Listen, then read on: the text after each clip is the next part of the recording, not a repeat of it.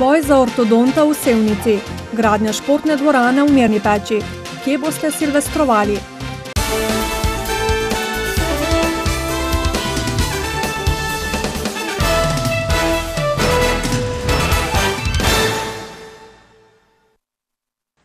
Dober večer. Še nekaj ur nas loči od novega leta, a preden se posvetimo prazničnim temam, gremo v Posavje, kjer Zavod za zdravstveno zavarovanje regiji priznava tri specialiste zobozdravstvene medicine ortodonte, vendar jih ne dodeljuje trem približno enako velikim občinam, ampak vse tri le krškemu. Po spletu okoliščin je zadnjega pol leta en ortodont deloval v Sevnici in v zdravstvenem domu si prizadevajo, da bi tako ostalo tudi v prihodnje. Zavod za zdravstveno zavarovanje s tem ne soglaša, zato je župan Srečko Ocvirk pisal ministrici za zdravje. Ortodont je prišel v Sevnico zato, ker je bila Brestaniška šola, kjer je imel ordinacijo v obnovi. V Sevnici so se ta čas trudili, da rešitev ne bi bila le začasna in da dobijo soglasje za eno ortodontsko ekipo, a brez uspeha. Zaradi upokojitve zobozdravnika je bila včeraj primo predaja kartotek, saj bo njegovo delo nadaljeval ortodont iz zdravstvenega doma Krško in s tem imel dvojno obremenitev. Do te situacije je prišlo zaradi nedelovanja sistema na ravni Ministrstva za zdravje, Zavoda za zdravstveno zavarovanje in zdajšnjih izvajalcev, je sevniški župan napisal pristojni ministrici. In zopet ministrstvo ne stori ničesar in kot okolje zgubljamo, najbolj zgubljajo naši pacijenti, predvsem ti najmlajši, ki največ tega zdravljenja potrebujejo in gre za načrtovano očitno slabitev okolja. Vsi postopki bodo zelo težko prenesli kritično presojo poštenosti, odgovornosti in pravičnosti, je bil v pismu Oster župan. Lokacija ocenjujemo, da je tista, ki je potrebno, da je to v Sevnici. In zato sem pisal ministrici, kajti gre za neuzdržno stanje.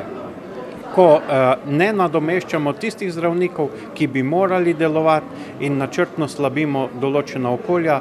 Koncesija za upokojenim ortodontom je zaenkrat Krškemu dodeljena za pol leta. V tem času bodo odgovorni lahko ugotovili, da so bili pri odločanju zavedeni z napačnimi podatki, se nadejajo v sevniškem zdravstvenem domu.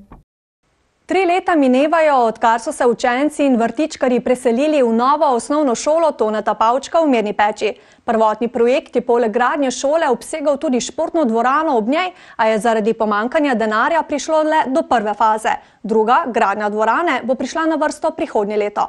Tako šola kot krajani jo potrebujejo, saj v občini ni večjega prostora za športne in druge prireditve. Javni razpis za izbiro izvajalca za gradnjo športne dvorane je odprt do sedemindvajsetega januarja. V tem vmesnem času je bila prvotna športna dvorana preprojektirana, zmanjšana za eno tretjino. Ja, v šoli se strinjamo s tem preprojektiranjem, ker menimo, da je da je tudi takšna velikost, kot je sedaj, za naše potrebe popolnoma dovolj velika in zadošča.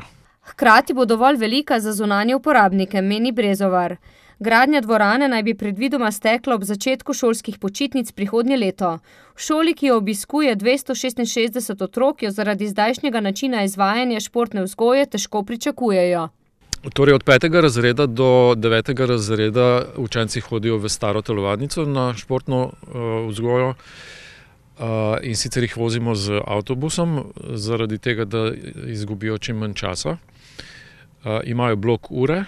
Učenci od prvega do četrtega razreda pa se razgibavajo na zunanjih površinah in v manjšem trim kabinetu, ki je neprimeren za ustrezno izvajanje športne vzgoje. Za dvorano imajo denar zagotovljen, pravi župan Andrej Kastelic. Nekako sredstva imamo z ministrstva zagotovljena, ravno kot to tudi v našem triletnem proračunu bomo morali to zagotoviti, tako da mislim, da s tem denarjem bomo to zgradili, seveda bomo mogli pa drugje določene stvari pa malo črtati oziroma z manjšimi koraki na drugih področjih. Naložba, za katero bo država prispevala štirideset odstotkov, občina šestdeset, je ocenjena na milijon evrov. Brezovar pričakuje, da bodo športno dvorano lahko začeli uporabljati v letu dva tisoč osemnajst. Po skladih za štipendiranje ter za dozidavo in rekonstrukcijo Osnovne šole Vavtava s telovadnico je straški občinski svet na zadnji seji ustanovil še tretji proračunski sklad občine, ki bo namenjen organizaciji evropskega prvenstva v raftingu prihodnje leto. Mednarodna rafting zveza je pred kratkim sporočila, da je izvedbo Evropskega prvenstva dodelila občini Stražam, ki je pod okriljem Rafting zveze Slovenije kandidirala skupaj z domačim rafting klubom Gimpex, katerega člani so osvojili številne medalje tako na evropskih kot svetovnih prvenstvih. V ta namen bomo ustanovili proračunski sklad, v katerega Eh, je predvideno vplačilo 120 tisoč evrov za organizacijo tega prvenstva. Seveda eh, gre tukaj v večini za eh, sredstva sponzorjev oziroma donatorjev, ki bodo nakazva, nakaz, nakazovali ta sredstva v proračunski sklad. Svoj delež v višini 30 tisoč evrov bo v ta sklad prispevala tudi občinam. Po besedah župana je to kot nekakšna rezerva, če za organizacijo prvenstva ne bi uspeli zbrati dovolj denarja a kot je na seji poudaril svetnik in tudi predsednik rafting kluba Gimpek Stražam, imajo do sponzorjev in donatorjev zagotovljeno že dovolj denarja za nemoteno izvedbo prvenstva. V ta sklad se bodo vplačevale tudi prijavnine samih tekmovalcev in seveda po zaključku uh, Evropskega prvenstva bo z ostankom razporejal občinski svet. Vsi si želijo, da bi na koncu na računu ostalo čim več denarja, predvsem pa v straži upajo, da bo največji športni dogodek v zgodovini občine popestril dogajanje v kraju in pritegnil tudi številne turiste. Pričakuje se preko 60 ekip, 350 eh, eh, samo tekmovalcev plus spremljajoče ekipe. Sam eh, dogodek bo se dejansko samo tekmovanje se bo odvijalo na umetni progi v Tacnu, tri discipline in pa kraljevska disciplina spust bo organiziran po reki Krki. Vsi tekmovalci pa bodo nastanjeni v začasnem kempu, ki ga bomo tudi organizirali. Nastanitveni kamp ekip bo v športnem parku Breza, še več podrobnosti pa bo občina razkrila v ponedeljek, ko pripravlja podpis dogovora o organizaciji prvenstva. December je čas, ko je dobrodelno še bolj v spredju. Dan dobrodelnega košarkanja pa je dogodek, ki ga ob koncu meseca prireja novomeški košarkarski klub Žoltasti Troti z namenom spodbujati gibanje ter košarko med mladimi in starejšimi. V športni dvorani Marov so zopet prišli na svoj račun vsi ljubitelji košarke in tisti, ki jim mar za lokalno okolje. Gre za košarkarski dogodek, eh, malo širše narave. Eh, želimo troti eh, promovirati geslo, da je košarka več kot tekmovanje, zato že četrto leto zapored organiziramo dobrodelni turnir, kjer zbiramo sredstva za različne lokalne organizacije. Namen tokratnega druženja je bil skozi športne aktivnosti in druženje zbrati sredstva za izgradnjo ruskega keglišča za društvo paraplejko Dolenske, Bele krajine in Posavja. Neka želja in interese, ker pač malo populacija se stara, ne? in te v košarki smo tudi, da bi naredili dodatno igrišče, to rusko keglišče. No? Želja je taka, ker bolj, to je ni tako specifično, bolj eh, umirovanje, se pravi, krogla vedno v povratku nazaj podira kegle. Čeprav je bil podarek seveda na košarki, se je na parketu športne dvorane Marov dogajalo marsikaj. V spredju je pač turnir 3 na 3, eh, potem smo imeli igrivo košarko, to je program Košarkarske zveze Slovenije za najmlajše. Z nami je Lipko, že ponarodela maskota, simbol za dobro voljo in eh, pač dobro košarko in pa eksibicijska tekma, ki je trenutno za nami. Cilj dogodka je promocija košarke, ki ne pozna meja, kar je bilo seveda tudi geslo letošnjega dne dobrodelnega košarkanja. Kot že nekaj let zapored smo tudi letos preverili, po čem si bodo iztekajoče se leto zapomnili župani in županje Dolenske, Bele krajine in Posavja. V včerajšnjih novicah je na vprašanje, kaj je po njihovem mnenju najbolj zaznamovalo leto 2015, odgovarjala prva polovica. Zdaj pa si poglejmo še besede druge polovice. Ja, najprej se bom zanesljivo zapomnil leto 2015. 15 po, po drugem vnučku. E, seveda to je tisto, kar si vsak e, stari starš najbolj želi. Dogodkov je bilo zelo veliko, e, težko bi rekel, po čem.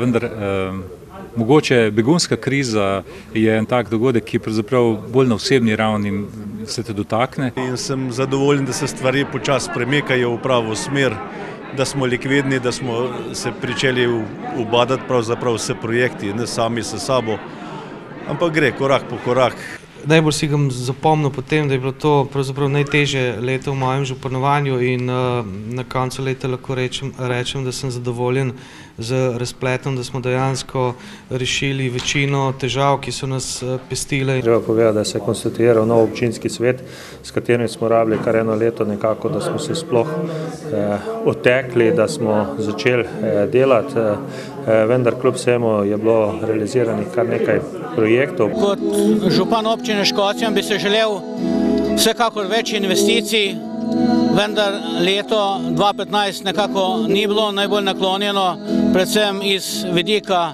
finančnih sredstev.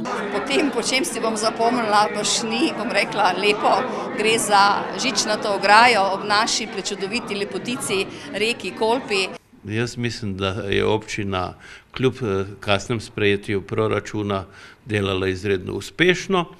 Mislim, da smo veliko uh, projektov pripeljali pod streho. V letu 2015 smo najdeli zelo lepo, lep način sodelovanja med občinsko upravo in občinskim svetom, tako da sem ponosen in pokazala se je tudi ta moja teza, da koalicija in opozicija nista potrebni. Lahko rečem, da eh, zelo naporno, naporno morda zaradi tega, ker smo se veliko ukvarjali z pripravami projektov, eh, ala eh, Suhokrajinski vodovod, V Beli krajini se je v letošnjem veselem decembru zvrstilo veliko različnih prireditev, delavnic in koncertov. Organiziranih silvestrovanj pa letos ne bo. Praznični decembra so sklenili sinoči s tradicionalnim valčkom skolpo, koncertom preloških muzikantov. V športni dvorani Črnomajske osnovne šole Mirana Jarca, kjer se je zbralo več kot 700 ljudi, je zmanjkalo prostora za vse, ki so želeli na koncert, poln presenečenj. Preloški muzikanti so ga namreč oblikovali skupaj z njihovimi prijatelji, glasbeniki, pevci in plesalci, med katerimi je bil tudi tribučan Jrnej Kozan, zmagovalec šova Slovenija ima talent. Zmaga mi je prinesla dost nastopov, dost prepoznavnosti, slavnost, um, več oboževalk imam pač, in to so bili tudi moja želja. Pač da bi čim več nastopal.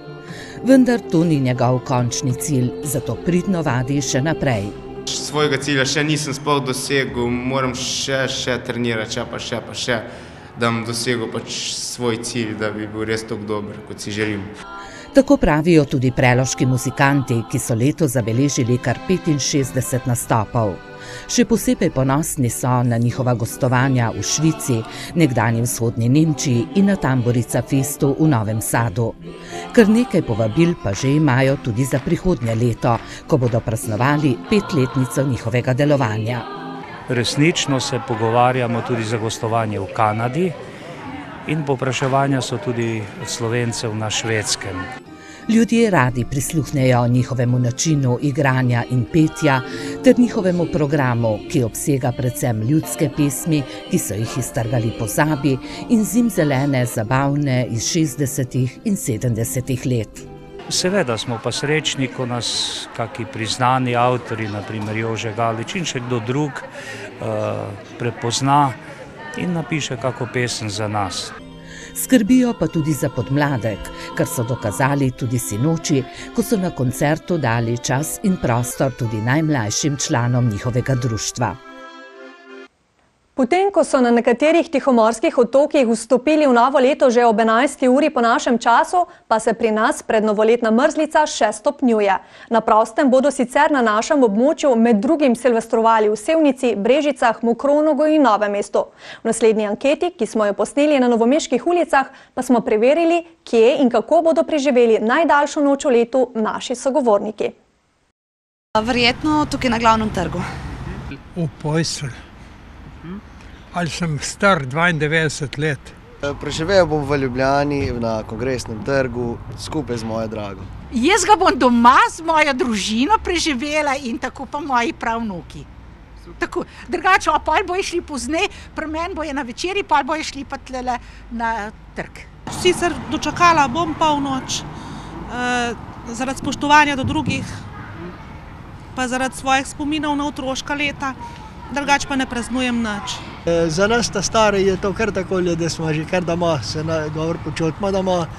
pa brez skrbi, lahko malo popiješ, lahko eno in drugo. Če greš pa kam ven, ni treba pa že malo mirkati. In če nas zave policaj, sej hvala Bogu, ka štrajka je, da ne bo nič. ne. Doma v krogu najbližjih.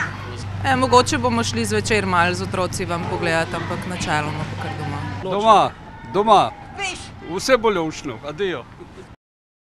Kjerkoli in kakorkoli boste preživeli zadnjo noč v letu, vam v uredništvu novic želimo, da se imate nepozabno. Srečno!